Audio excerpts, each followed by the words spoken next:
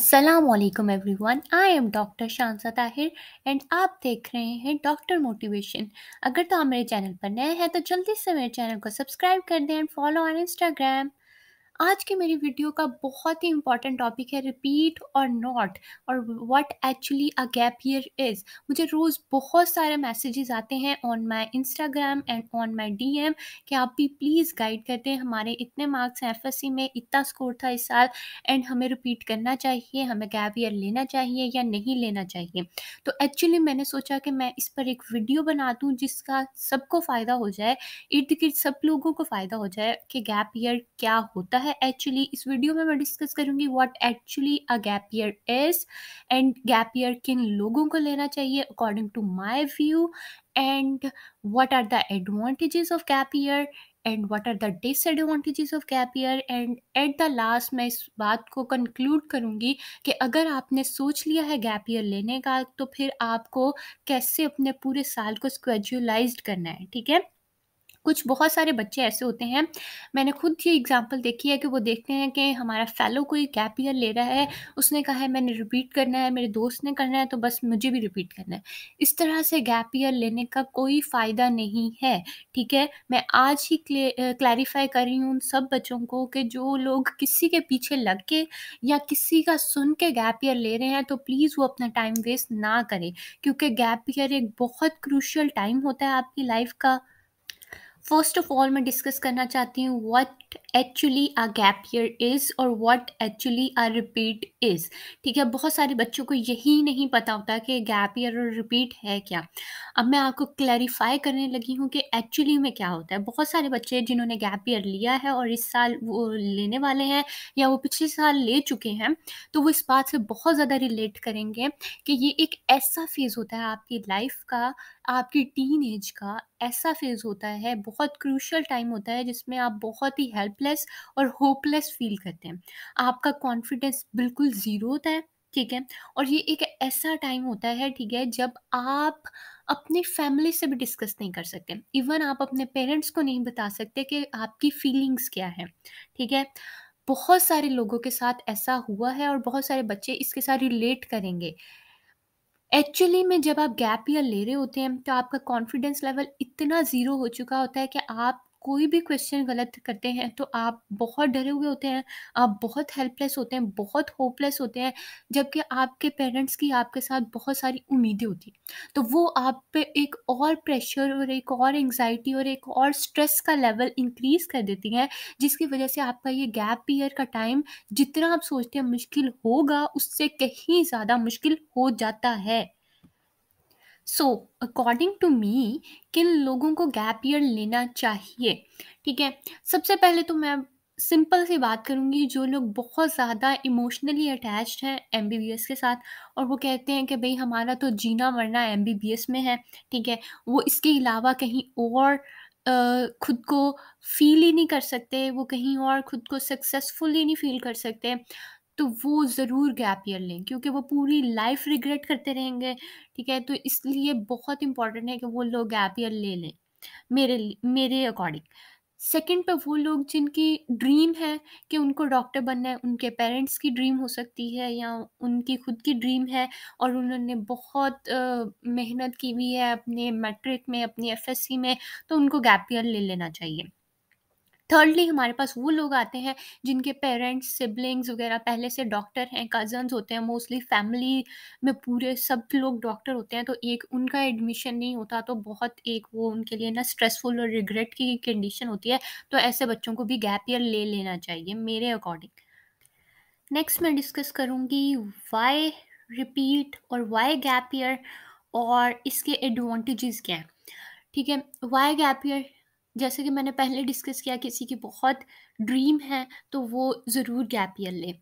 Then हमारे पास आता है what are the advantages of gap year तो हर साल seventy to fifty percent fifty to seventy percent seats जो हैं, वो रिपीटर्स सिक्योर करते हैं गवर्नमेंट मेडिकल कॉलेजेस में, ठीक है?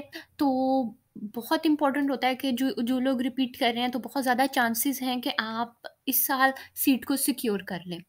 Right right? अगर आप उसको राइट right वे में यूज़ करते हैं और आप अपने टाइम को बहुत अच्छे से स्केड्यूल कर लेते हैं तो मेरी तरफ़ से रिपीट जिन्होंने किया है, उनका एडमिशन तो हंड्रेड परसेंट हुआ हुआ है क्योंकि आपके पास ज़्यादा नॉलेज है, आपके पास ज़्यादा टाइम है, आपके पास ज़्यादा टाइम है प्रैक्टिस करने का, आपके पास ज़्यादा टाइम है स्किल्स डेवलप करने का, आपके पास ज़्यादा टाइम है टाइम मैनेजमेंट को करने का, आपके पास ज़्यादा टाइम है कॉन्सेप्ट को बिल्ड करने का जितना कि एक फ्रेशर स्टूडेंट के पास नहीं होता राइट तो आपका बहुत ज़्यादा चांस है। अगर मैं चांस के मुताबिक रखूँ तो टेन में से एट रिपीटर्स का एडमिशन हो जाता है और टेन में से फोर फ्रेशर का एडमिशन होता है। हर साल ऐसा ही होता है। तो अगर आप रिपीट कर रहे हैं तो आपके पास एक एज है।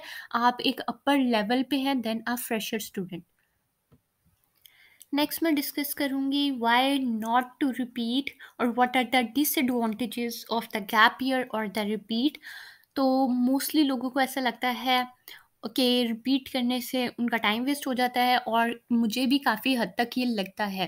ठीक है, जो बच्चे गैप ईयर किसी के देख के कर रहे हैं एक फ्रेंड ने कहा, मुझे गैप ईयर लेना है और उसके मार्क्स काफ़ी अच्छे हैं और उसका बहुत मोटिवेशन है, उसके पास बहुत ज़्यादा वो मोटिवेटेड है और वो खुद को बहुत अच्छे से मैनेज कर करने उसको टाइम मैनेजमेंट बहुत अच्छा आता है। और आप उसके देखा देखी बस कह रहे हैं कि मुझे भी रिपीट करना है तो आप अपना टाइम वेस्ट कर रहे हैं।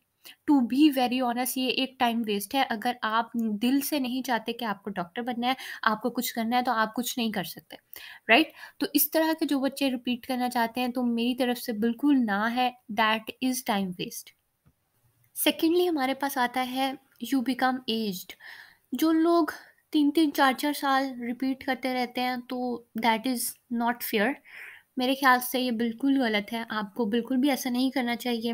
आपको एक बार ज़रूर रिपीट करना चाहिए। अगर आपका एडमिशन हो जाता है तो बहुत अच्छी बात है। और अगर आपका एडमिशन नहीं होता तो फिर इसमें अल्लाह ताला की रज़ा है। हमें उसको मानना चाहिए। राइट तो आपको अपना टाइम वेस्ट नहीं करना इस तरह से।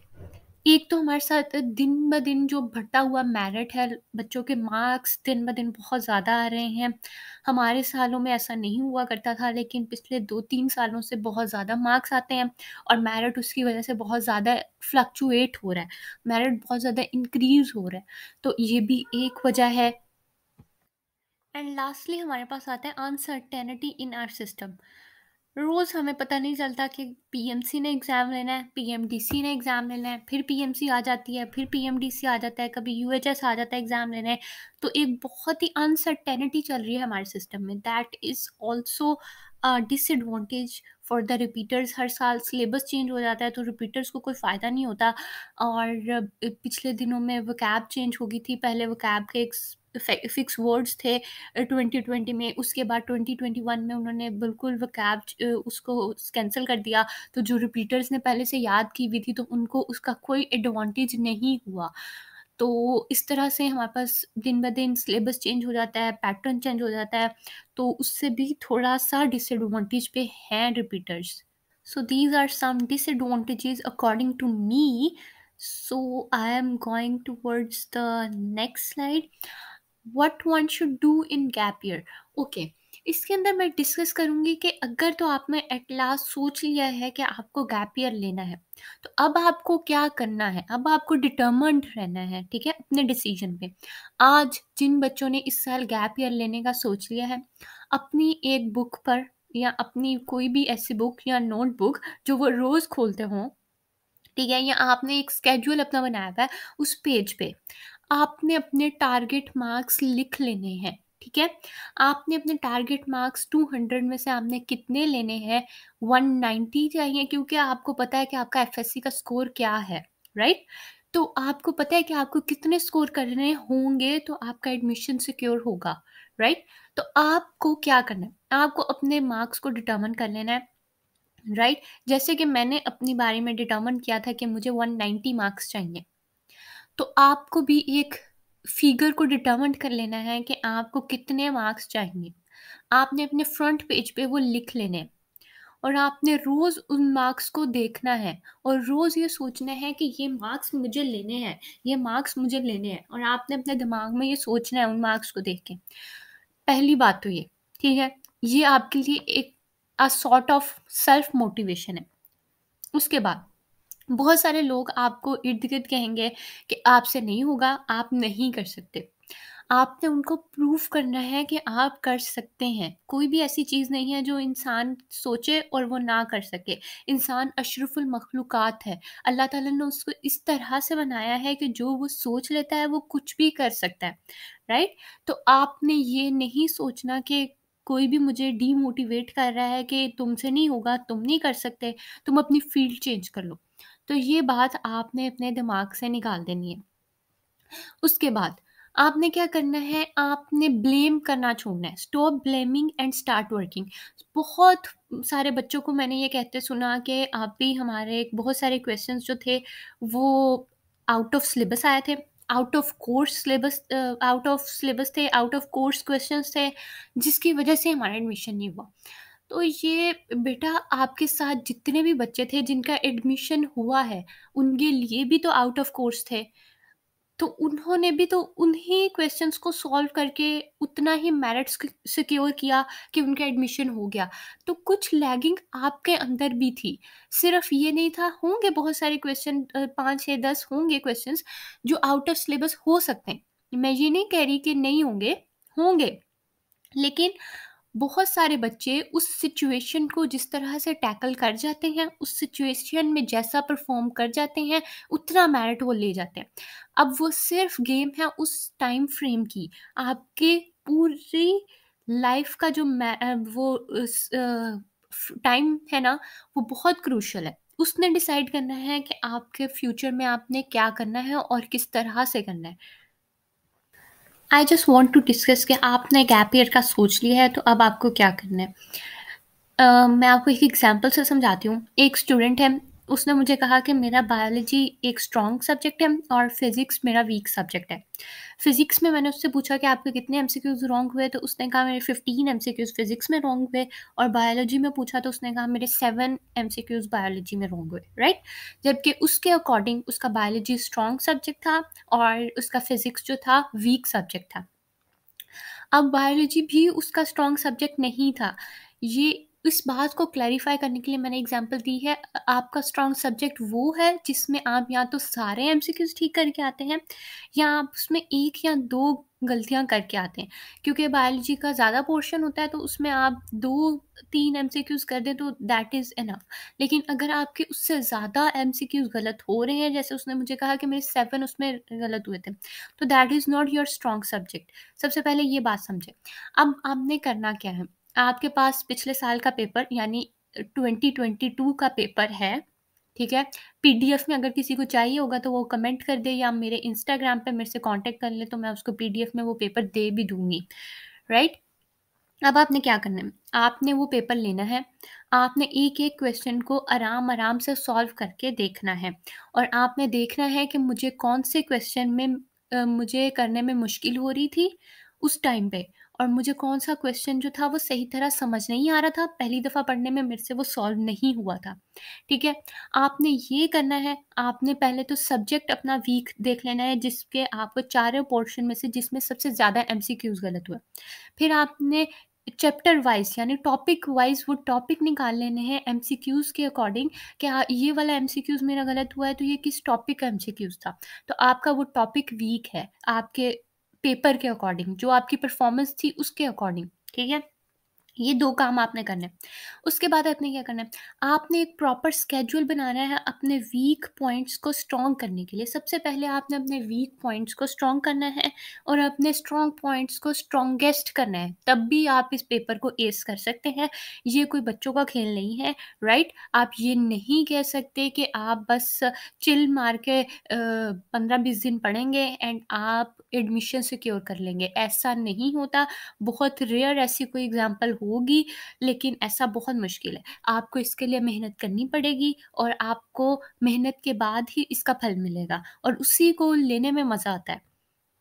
मैं एक पूरा फाइव सेवन वीडियोज़ का एक पूरा, मैं एक प्लेलिस्ट बनाने वाली हूँ जिसमें मैं पूरा डिस्कस करूँगी टाइम टेबल कैसे बनाना है, किस तरह से पढ़ना है, किस तरह से आपको अपने गैप ईयर को यूटिलाइज़ करना है इन द बेस्ट वे।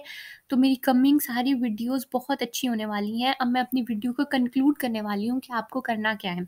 सबसे पहले हमने डिस्कस किया what is gap year, advantages क्या हैं, डिसएडवांटेजेस क्या हैं, गैप ईयर होता क्या है एंड गैप ईयर में आपको करना क्या है।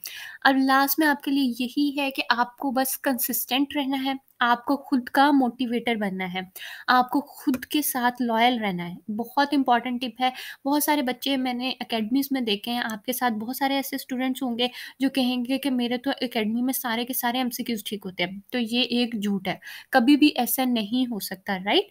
तो आपको खुद के साथ बहुत लॉयल रहना। आपकी अकेडमी में क्वेश्चन गलत हो रहे हैं तो कोई बात नहीं, ये एक लेवल है आपका सीखने के लिए, आपकी गलतियाँ होंगी तो आप सीखेंगे।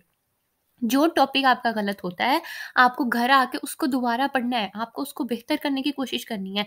अगर आपको अपनी गलतियाँ समझ आ जाती हैं और आप उसको उसी टाइम पे ठीक कर लेते हैं, तो ये एक बहुत ही अच्छी बात है। आपकी गलतियाँ हो रही हैं तो आपने घबराना नहीं है, ठीक है? आपने परेशान बिल्कुल भी नहीं होना।